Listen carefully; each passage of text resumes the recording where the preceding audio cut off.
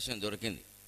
ఎప్పుడైనా మైకు పని చేయకపోతే ఎప్పుడైనా ఎక్కడైనా వేదికల మీద మైకు పనిచేస్తుందో లేదో తెలుసుకోవాలంటే mic testing please. One two three four ఈ దరిద్రపు మాటలు మాట్లాడకండి. హరి ఓం హరి ఓం అనండి. హరి హరినామస్మరణ పుణ్యం వస్తుంది. ప్రతిదాన్ని మనం భగవత్పరంగా ఆలోచించి అలవాటు చేసుకోవాలి. జీవితం బాగుండాలంటే. ఎవరైనా ఫోన్లో మాట్లాడితే హలో అనడం కంటే హరి ఓం అనండి ఎంత అందంగా ఉంటుందో? నేను అదే అంటాను ముప్పై ఏళ్ళుగా అలవాటు. వెంటనే హరి ఓం అనండి అవతల వాడు సంతోషిస్తారు. పొద్దున ఫోన్ చేసినా రాత్రి ఫోన్ చేసినా అర్ధరాత్రి ఫోన్ చేసినా హరి ఓం అని వినపడితే మనం పలకినా పలకపోయినా ఈ మాట ముందు బాగుంటుంది అలాగే ఈ మైక్ వాళ్ళు వాళ్ళు వీళ్ళు చాలామంది మన వేదికలు mic testing please one two three four ఇంకేం లేదా టెస్టింగ్కి? కనీసం ఆ సమయంలోనైనా హరినామస్మరణ చేయలేమా? ఆ పరీక్ష ఏదో హరి ఓం హరి ఓం అంటే మైకు ఎంత పని చేయకపోతే అంత మంచిది. హరినామస్మరణ బాగా చేయగలిగాం. తర్వాత చూసుకుంటాం. జీవితం ప్రశాంతంగా ఉండాలంటే భగవంతుడు నిరంతరం స్మరిస్తూ ఉండాలి. ఆ స్మరణలోంచే మనం మాతృదేవ స్మరణలోంచి మనం నిత్య జీవితంలో వేదాంతం అనే అంశం రెండవ భాగంలోకి ప్రవేశిస్తాం. నడుమ వచ్చిన ప్రేమ నయగారమౌను నారీ నరుల ప్రేమ నడుమనే పోవు అమ్మా.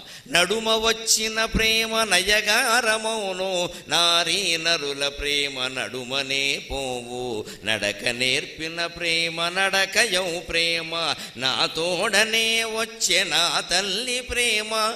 నడక నేర్పిన ప్రేమ నడకయౌ ప్రేమ నా తోడనే వచ్చే నా తల్లి ప్రేమ ఇడుములందైనను ఎడబాసిపోదు ఇంత గాయంబైన ఎడతట్టుకోదు ఇడుములందైనను ఎడబాసిపోదు. ఇంత గాయంబైన ఎడతట్టుకోదు కొడుకు దేవతయంచు కొలిచెడి ప్రేమ. కొడుకు దేవతయంచు కొలిచెడి ప్రేమ.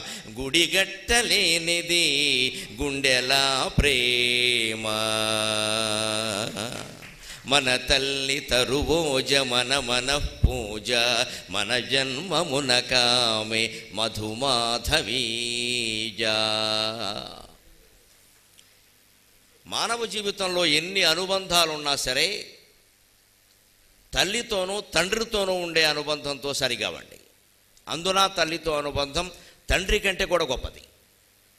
లోకంలో ఎవరి పట్లైనా మనకి గౌరవం ఉండి వారిని గురువుగా గౌరవిస్తే అంతకంటే పది రెట్లు ఎక్కువగా నీ తండ్రిని గౌరవించమన్నారు.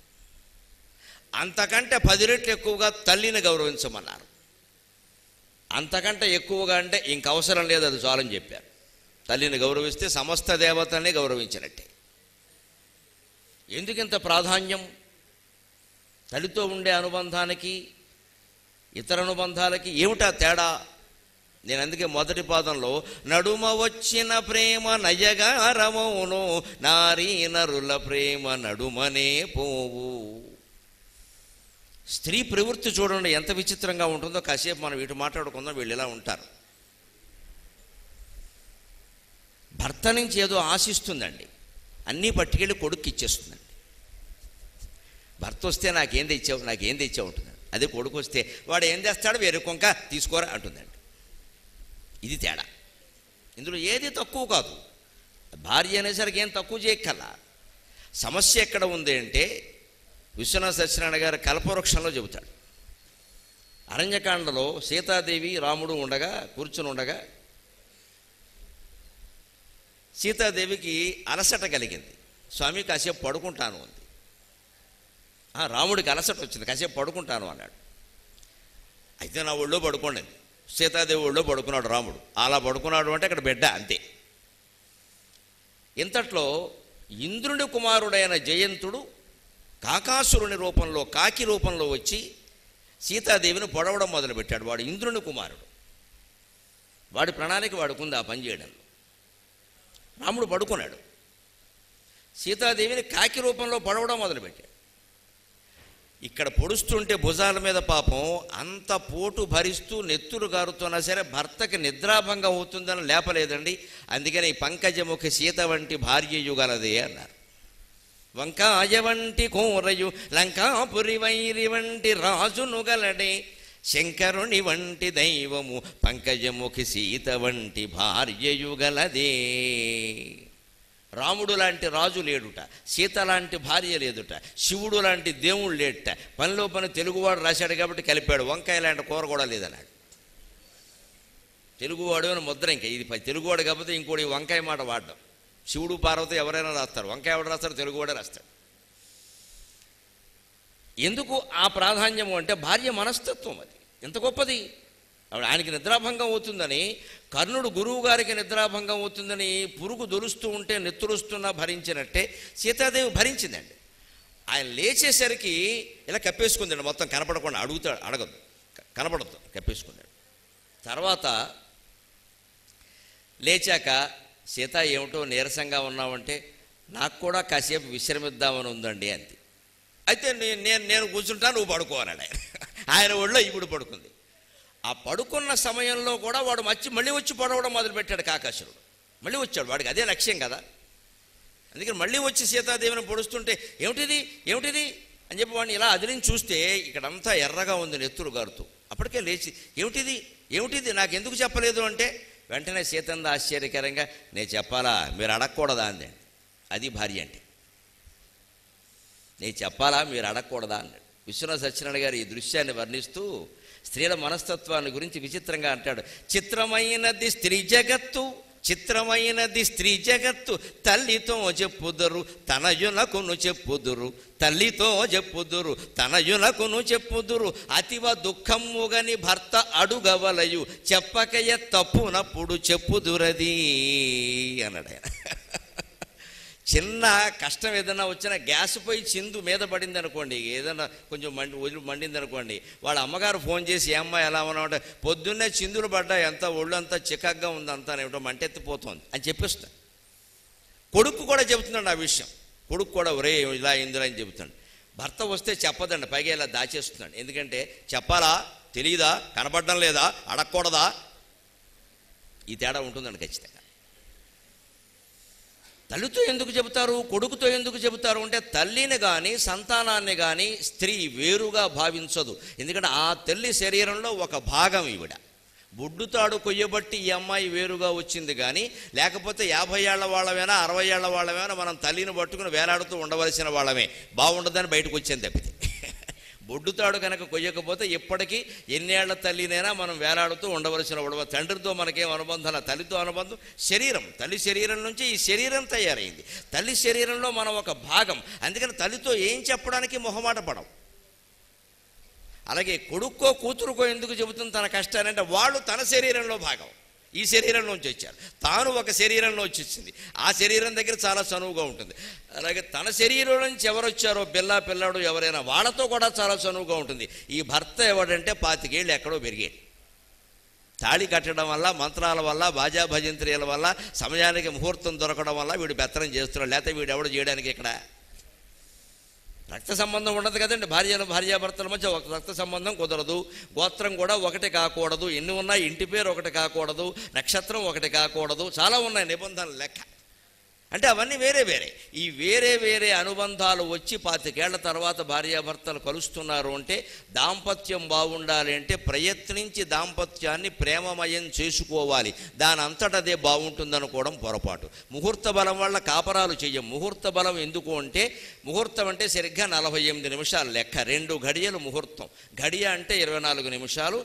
ముహూర్తం అంటే రెండు గడియలు నలభై ఎనిమిది నిమిషాలు. పెళ్ళిలో ఎప్పుడు ముహూర్తం పెట్టిన దగ్గర నుంచి నలభై ఎనిమిది నిమిషాలు మీరు లెక్కెట్టు పెట్టుకోండి. జీలకర్ర బెల్లం పెట్టింది ముహూర్తం కదా. అక్కడి నుంచి రెండు నలభై ఎనిమిది నిమిషాలు పోనీ ఒక గంటలోగా. తలంబరాలు మంగళసూత్రం ఆ దండలు మార్చుకోవడం అన్నీ అయిపోతాయండి. ముఖ్యమైన ప్రక్రియలన్నీ ఆ నలభై ఎనిమిది నిమిషాల్లో అయిపోయారు. ముహూర్త బలం అంటే అర్థం ఆ నలభై ఎనిమిది నిమిషాలు ఏ అడ్డు లేకుండా జరగడానికి పెట్టిన ముహూర్తం తప్పితే వీళ్ళందరూ మొత్తం దశాపరేషాం దశ పూర్వేషాం పిల్లల గండానికి పెట్టిన ముహూర్తం కాదది మన కాపురాలు దెబ్బతింటే ఎవడో పెట్టాడు ముహూర్తం అనకూడదు. ఆయన కాపురం కూడా ఎలా ఉందో ఒకసారి కనుక్కోవాలి. ముహూర్తాలను బట్టి కాపురాలు నడవు. అంత భా భారాన్ని మనం పురోహితుల మీద పెట్టకూడదు. ముహూర్తం పెట్టిన పురోహితుడు కలకాలం దగ్గరుండి కాపురం చేయిస్తాడా? మీ మధ్య భేదాలు వస్తే ఆయన ఏం చేస్తారండి? ముహూర్తం మంచిది కాదంటారు కళ్యాణ మండపం మంచిది కాదంటారు. ఏమిటో ఆ కళ్యాణ మండపంలో జరిగిన పెళ్ళిళ్ళన్నీ అలాగే ఉన్నాయి. ఇవన్నీ మన పిచ్చి నమ్మకాలు. ఆ ఇక కళ్యాణ మండపాన్ని బట్టి పెట్టిన ముహూర్తాన్ని బట్టి ఆ పురోహితులు మంత్రాలు చదువుతుంటే మైకు మధ్యలో ఆగిపోతే ఒకవేళ అది కూడా అపశకునమే మనకి. మంత్రాలు చదువుతుంటే మైక్ ఆగిపోయింది. అందుకే మా దాంపత్యం ఎలా ఉంది? లేదమ్మా నీ బుద్ధి వల్ల ఉంది. నీ బుద్ధి మార్చుకో. మైకు మారిస్తే కుదరదు. మైకులు వంద మారుస్తాం. మైకం ఎవడు మారుస్తాడు? మైకులు వంద మారుస్తాం. కలక్కమ్మిన మైకం ఎవడ మారుస్తాడండి? ఆ మైకాన్ని మార్చుకోవాలి. మైకు మారుద్దామంటే ఎలాగా? మైకు పని చేయడానికి వంద విధానాలు ఉంటాయి. మైకం తగ్గడానికి విధానం లేదు. మనం మార్చుకోవాలి తప్ప. అందుకని ఆయన చెబుతాడు తల్లితో చెబుతుంది కొడుకులకు కూడా చెబుతుంది కూతుళ్ళకు కూడా చెబుతుంది. భర్త విషయం వచ్చేసరికి ఏమనుకుంటుంది అంటే ఎంతైనా పరాయితనం పరాయితనం పరాయితనం మధ్యలో వచ్చాడు నా జీవితంలోకి. భర్త కూడా అంతే. ఎంత సేవ చేసినా సరే మా అమ్మ చేసేది మా నాన్నగారికి అంటాడు ఈ పెద్ద మనిషి. ఒళ్ళు మండిపోదా ఆవిడికి? బ్రహ్మాండంగా పచ్చడి కూర పరమాన్నం సహా అన్నీ చేసి అక్కడ పెడితే మెచ్చుకోవడం మానేసి ఒకవేళ మెచ్చుకున్నా కూడా ఏదో చేస్తుంది కానండి మా ఆవిడ మా అమ్మ చేసేది అంటాడు వీళ్ళ అమ్మ ఇప్పటికే వెళ్ళిపోయి వీడి దైవాలు ఇరవై ఏళ్ళు అయింది. వీడి దైవాలే వెళ్ళిపోయింది. సరిగ్గా చూసుంటే వెళ్ళేది కాదు.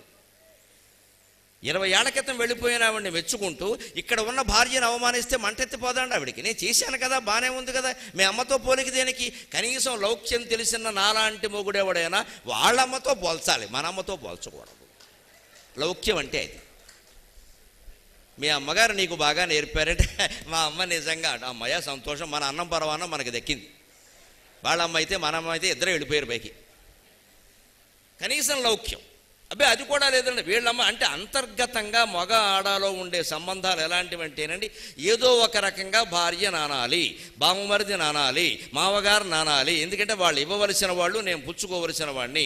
కాబట్టి ఏమి ఇచ్చినా సరే తక్కువ ఇచ్చావు అంటూనే ఉండాలి అని మగవాళ్ళ లక్షణం. అలాగే భార్యకు కూడా ఏమిటంటే ఎంత ఇచ్చినా సరే మా పుట్టింటి వాళ్ళు ఇచ్చినట్టు లెక్క కాదు ఇది. ఏదో ఒక రకంగా భర్తను అంటూనే ఉండాలి. ఎందుకంటే ఈ పరాయితనం పరాయితనం. మన అనుకోవడం చాలా కష్టం అండి అది. అనుకోవాలంటే పెళ్ళైన మొదటి క్షణం నుంచి భార్యాభర్త ఇద్దరూ కూడా నీ కోసం నేను నా కోసం నువ్వు అన్నట్టుగా ఉండాలి. జీతాలు లెక్కలు వేసుకుంటూ కూర్చోకూడదు. నువ్వే ఖర్చు పెట్టావు నేనే ఖర్చు పెట్టాను. మీ వాళ్ళకి నువ్వేమి ఇచ్చావు మా వాళ్ళకి నేనేమి ఇచ్చాను కదా. అవసరం ప్రధానం. ఎవరి వాళ్ళకి ఇచ్చినా సరే అవసరం ప్రధానం. బావమరిది లేదా బావమరిది భార్య ఎవరో అనారోగ్యంతో బాధపడుతున్నారు అంటే బావగారు వెంటనే ఇవ్వాలండి. నా తమ్ముడు కాదు కదా అనకూడదు. వాళ్ళ తమ్ముడు మన తమ్ముడు కదా. వాళ్ళకి వాళ్ళకి ఉంటే వాళ్ళు ఎందుకు అడుగుతారండి? లేకపోబట్టే కదా. అయ్యో ఇబ్బంది అండి. మా ఇల్లు మీకు సంగతి తెలియదేముంది మా నాన్నగారు రిటైర్ అయిపోయారు. టెన్ పెన్షన్ చాలా తక్కువ. మా అమ్మకి ఏమీ లేదు. మీకు తెలుసు కదా మా అన్నయ్యకి ఎంత పరిస్థితి వచ్చిందండి అంటే భర్త నడకపోతే ఎవరిని అడుగుతారండి? ఈ ఖచ్చితంగా ఈ భర్త నా తమ్ముడు లాంటి వాడే ఆయన కూడా. అనుకుని చేస్తే వెంటనే ఆ భార్య భర్తను ప్రేమించమని ఒకడు చెప్పాలా? నా తమ్ముడికి ఇంత వస్తే ఆదుకున్నది మా ఆయనండి అని వెంటనే చెప్పదండి ఆవిడ. ఈ భావాలు వాళ్ళను కూడా మనవాళ్ళు అనుకోవాలంటే మాటల్లో మనస్సులో చేతల్లో అన్నింట్లోనూ మార్పు రావాల్సిన అవసరం ఉంది. అప్పుడు నిత్య జీవితంలో వేదాంతం మనకి బాగా అన్వయింపబడి సుఖ సుఖపడతాం. మన జీవితం అంతా సుఖంగా ఉంటాం. వేదాంతం అంటే వైరాగ్యమని ఏదో ధ్యానమని నిష్టని అనుకోవద్దు. ప్రాక్టికల్ ఫిలాసఫీ భారతీయత ప్రత్యేకంగా ఆచరణపూర్వకమైన వేదాంతం. మనం ఎందుకు ఇలా బాధపడుతున్నాం దుఃఖాల్లో ఉన్నామంటే వేదాంతాన్ని ఆచరణలో పెట్టకపోవడం వల్లే.